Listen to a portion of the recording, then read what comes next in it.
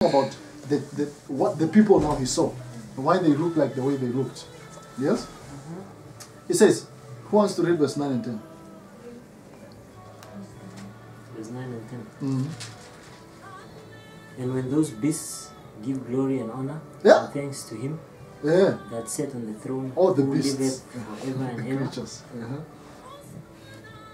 the four and twenty elders fell down before him that sat on the throne and worship him. Which one are you reading? He's reading Yeah, four. Ah, ah, read chapter 5, Five.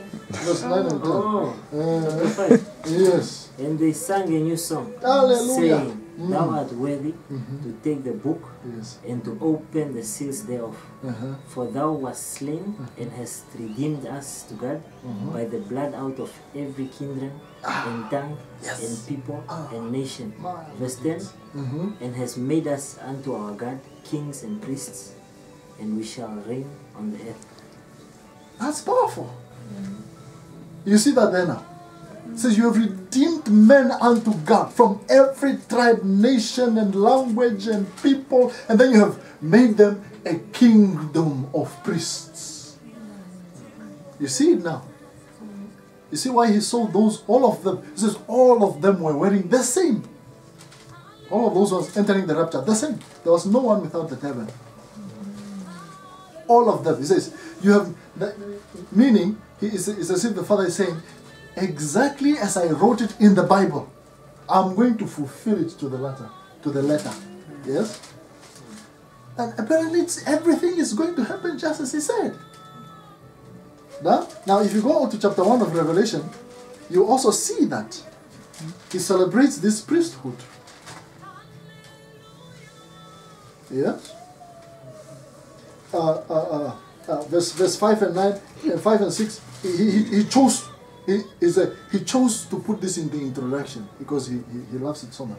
He says and from jesus greetings now. He says may grace and peace from, from the father. And then he says also from jesus christ and from jesus christ the faithful and trustworthy witness the first one of the dead first to be brought back to life and the prince the ruler of the kings of the earth. To him who ever loves us and has ever uh, once and for all loosed and freed us from our sins by his own blood and formed us into a kingdom a royal race.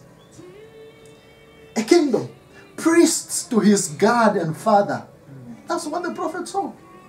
He saw priests entering into heaven. That he didn't saw he didn't see other people only priests the holy priesthood, a royal race. Priest to his God and Father. To him be the glory and the power and the majesty and the dominion throughout the ages. Now, now when you read this, he says, now he ties this to his love, but let's not go too, too much there. But you can see what he's talking about. He says, the, the people going up dressed the same. In fact, he even says, he even describes how they were wearing, how that garment comes like this. And then somehow there's another flap, there's a flap over, and then there's another one underneath here. He says, like angelic beings. And then when he reads that, I remember Matthew 22, verse 37. What did he say? He says, in heaven, or in the resurrection, he says, in the resurrection.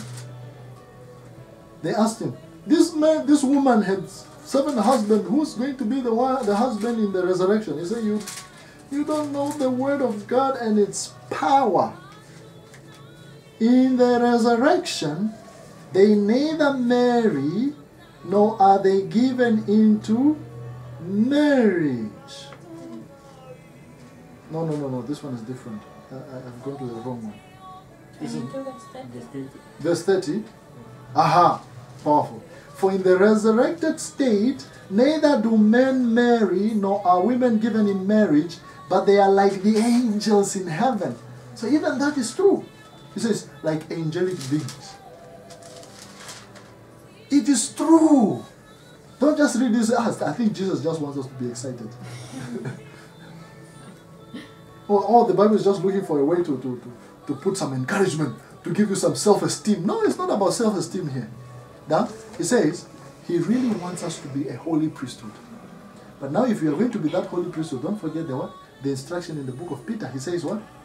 The second same Peter we, we, we just read. He says, as we close down, oh, I'm so excited. He says, Yeah, listen.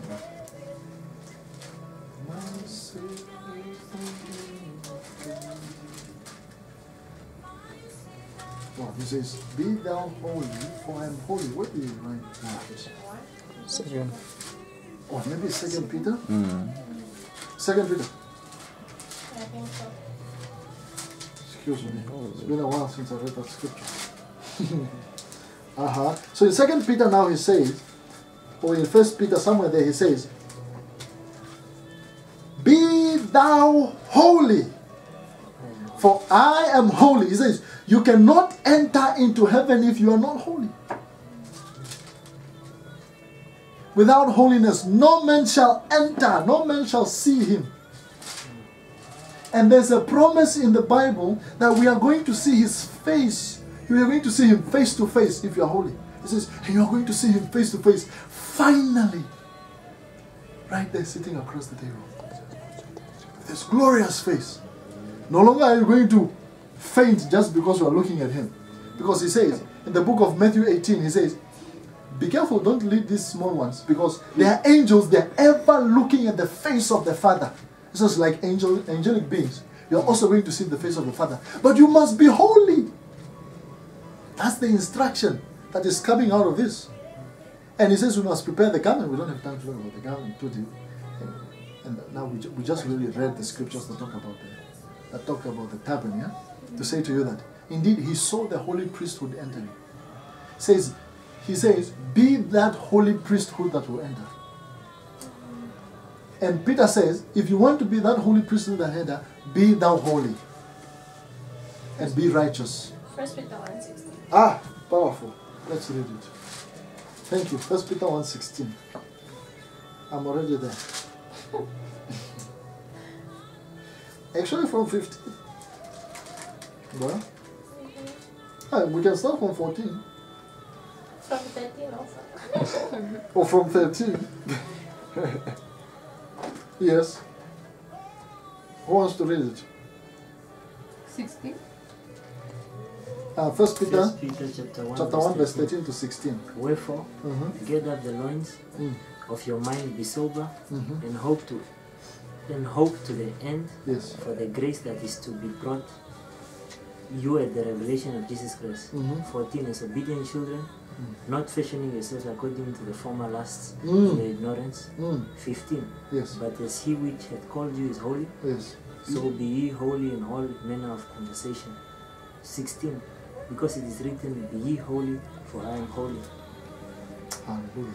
For it is written, Be ye holy, for I am holy. That's the requirement of heaven.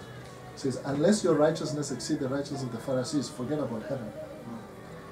We don't know how we will look like on that day, but now he has told us. But he also promised that in that state, we are also going to be like him. In the book of John it says. Amen? Let us prepare. And I wanted to say some things like uh, uh, some, some prophecies in the book of Revelation, chapter 12, and how some people say that this prophecy in the book of Revelation, chapter 12, is, is in the heavens, is in the stars, as the Bible says. I saw a sign in the stars. The people are saying this sign is essentially going to take place this year on the 23rd of September. Now, whether it is the one or not, uh, we can only hope it is. No? Can hope it is, and if it is the one, then that means something very exciting for those that are be found ready. And the question is, is it before or after the rapture? Or during the rapture? Now, not the tribulation, but this sign, the constellation of the stars. People are saying, this one now, it is exactly what the, the scriptures have spoken about. And then you, you see other things taking place. And one of the men that was talking about this sign, then he says, uh, if you look at this day, because the Bible says, I don't want to go on teaching except if you allow me, but I just want to keep it brief. Yes, he says this sign that has been that has been discovered in the stars will take place on the 23rd of September. The Bible says it is the the birthing of the son, the woman that went into travail and gave birth. Now, listen to this something very interesting. A pastor called Pastor Steve called called eh, sorry, I will not I don't want to say his name wrong. Cioccolanti. Cioccolanti, Cioccolanti from Australia. He said, A child is conceived nine days before the birth. Is it true or not? It's correct. Don't you agree with me? Doctors, Doctor. Yeah, I agree. pharmacists, you know. You know. ah, you know. It is common knowledge, yes? The child takes nine days to to be born. I mean, nine, nine months, not days. Oh, Oh, days, yeah. yes. Okay. Oh, Wait, days. Sorry. Sorry, not days. Months, yes? Okay, you said yes. Okay, okay. Children take nine months to be born, yes? Yes, good. So he says now, if you count nine months, not days, from that day, it will take you to Jan- uh, December the 23rd of 2016. And then he says, just mark that day. I think that was 2014 he was saying this. Okay, I'm not sure. He says, mark this day, the 23rd of, of December 2016, something will happen. Uh, he was not saying it as a prophet. He was just saying, I mean, just, just nine months. Now, and surely something happened that has to do with Israel. And when it happened, many people pointed to the book of Zechariah chapter 12 verse 3. I really don't want to go too far, but I will try to keep it short, yes? sorry, sorry, sorry, sorry.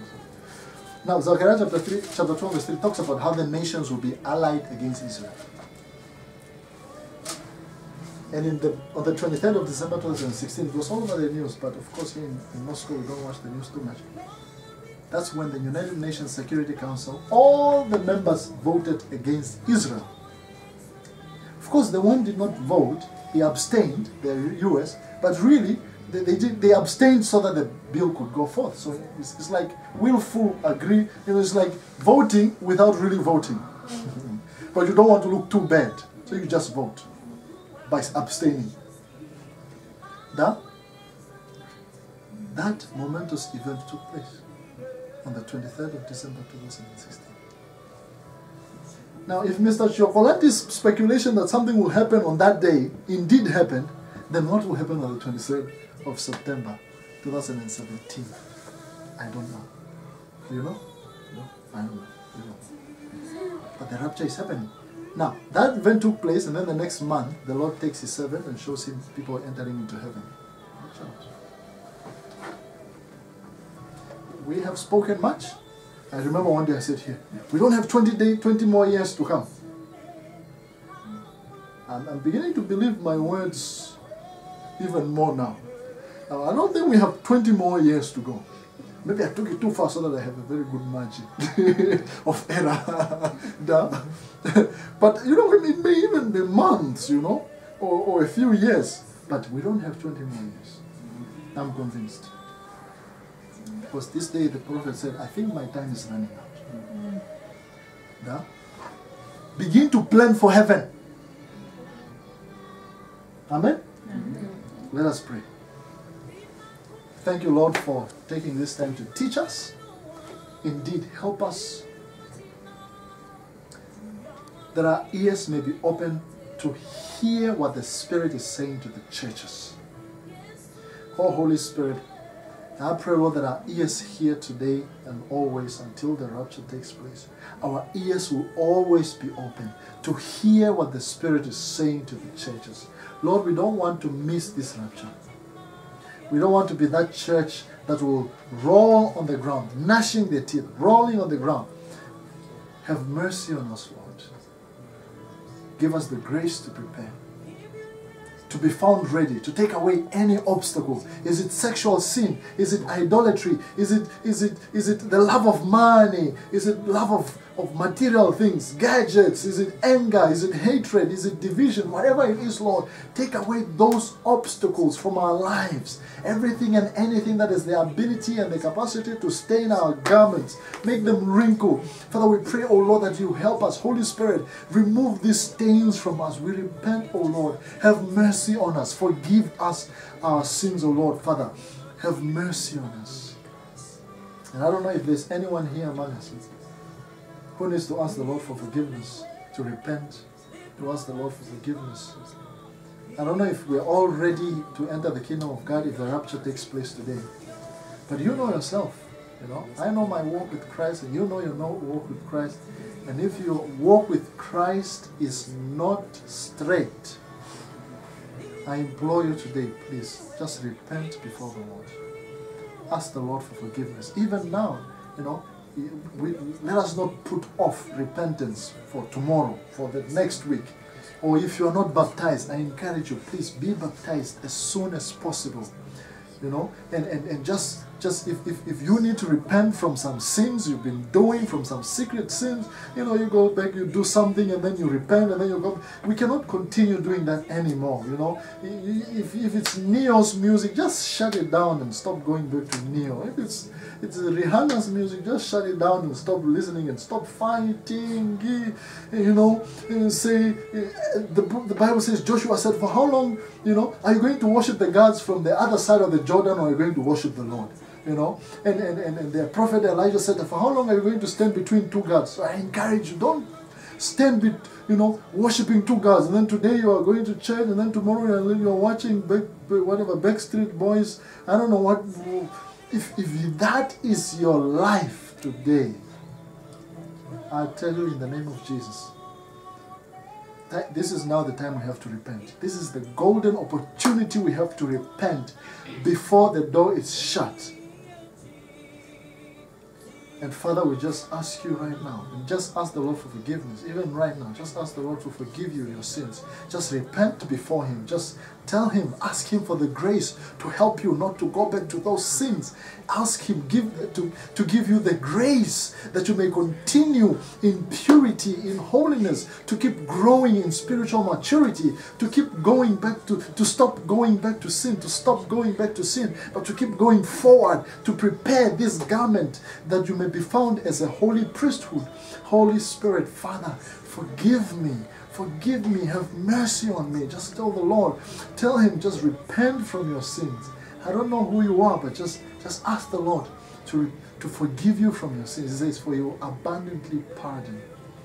And Lord, we trust that indeed we believe and we have confidence that you forgive us our sins. You said, if we confess our sins, you forgive us. And Lord, we just ask you, Lord, to have mercy on us right now and forgive us. Help us, O Lord, to walk in holiness, to cast off every burden. All these things that Peter tells us to put away from us. All these things that the Apostle Paul tells us to put away. And we may walk in holiness and forgiveness and righteousness. In the mighty name of Jesus Christ we pray. Amen. Amen. Hallelujah.